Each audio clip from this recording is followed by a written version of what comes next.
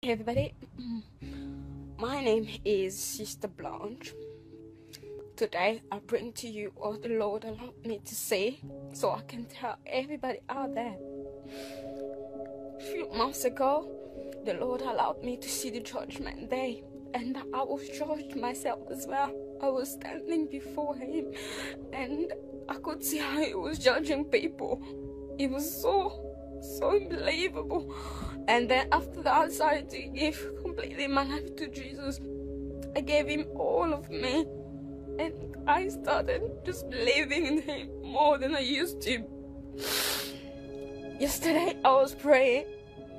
As I was praying, I was like, oh, God, have mercy. Have mercy upon this world. Have mercy. Forgive.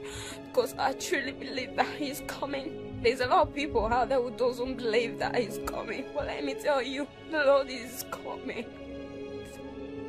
He's coming. He allowed me to see it. He's coming. I went to sleep. He allowed me to see few, few things as well tonight. That's personally. And then I woke up, I went to work. I came back. And he allowed me to see, I heard the Lord telling the saint to get ready. He told, he told them to get ready, they're coming soon. He was telling them to get ready, they're coming soon. I just want you to get ready. This is so serious. It's not a joke.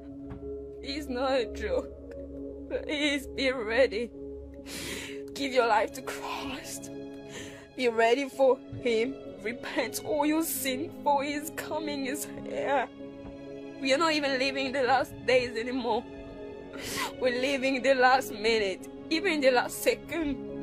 The Lord is here. He loves you. That's why I keep telling everybody out there to tell you, but you don't want to listen. This is the last warning He's giving to His people. He loves you so much. He cares for you. That's why I keep telling you this. I'm young like everybody out there, but I'm here saying this because I, I choose to love Him, to follow Him. I don't want to end in hell. Hell is not a place for people like me and you. Hell is a place for the devil, but we choose to go there for the life we live here. For everything that we live here, we will live it after this life as well. I just want you to listen to this, to pray. And I pray that the Lord that revealed that to me will reveal that to you as well.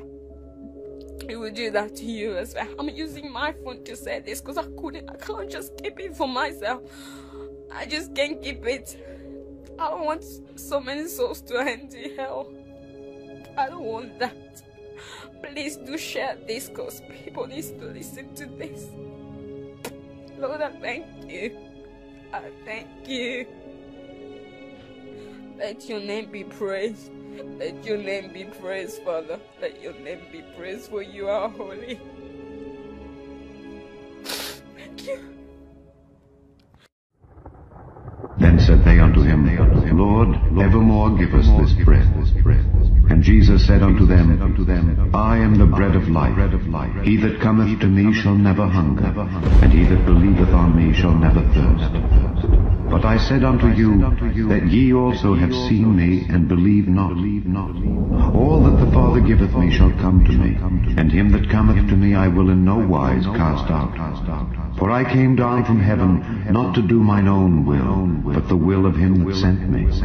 And this is the Father's will which hath sent me, that of all which he hath given me I should lose nothing, but should raise it up again at the last day. And this is the will of him that sent me, that every one which seeth the Son and believeth on him may have everlasting life, and I will raise him up at the last day.